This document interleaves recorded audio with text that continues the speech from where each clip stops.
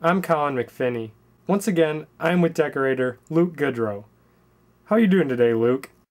Uh, Colin, I don't think the camera's picking us up without any lights on. You know, you're right. Here, just a second. What are you doing? You look ridiculous. That isn't strong enough to light the set. I'm leaving. I don't even know why I agreed to a second interview. Luke, wait, wait, wait, wait. I, I'll have him turn on the lights, alright? Guys, turn on the lights.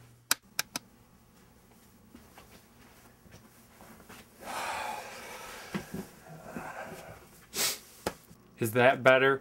I guess. You gonna ask me any questions or is this just gonna be like last time? I was wondering if you could show us a little behind the scenes of your decorations. Why would you even ask that? You already know I let you guys film all my decorations. I, yeah, I know. I'm just trying to give you the opportunity to be a nice guy. Whatever, show the footage. Show it. Hi, I'm Colin McFinney, and I'm here with Luke. They know who we are. This is after we were already introduced in the interview. You got that joke from me, didn't you? No. Who'd you get it from? First of all, it's not a joke because it isn't funny. Secondly, I was being sarcastic. Of course I got it from your goofy ass.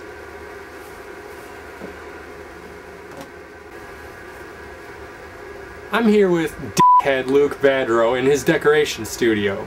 Now Luke, what did you use to make all these shitty decorations? Well, Colin McFace, I made all these very detailed decorations using various tools and recycled objects. Like this tool? Yes, now put it down. Film some random shit in here, Murphy.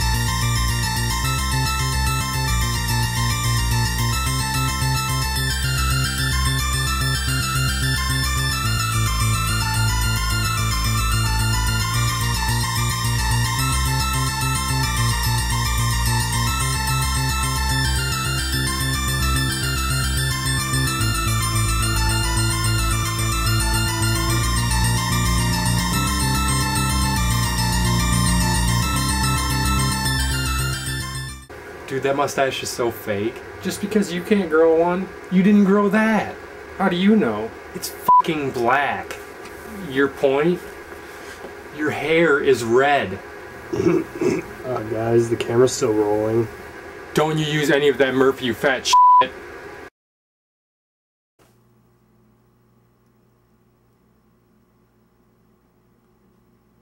Well, that was our nice friendly visit to uh, Luke's decoration studio. It's a garage.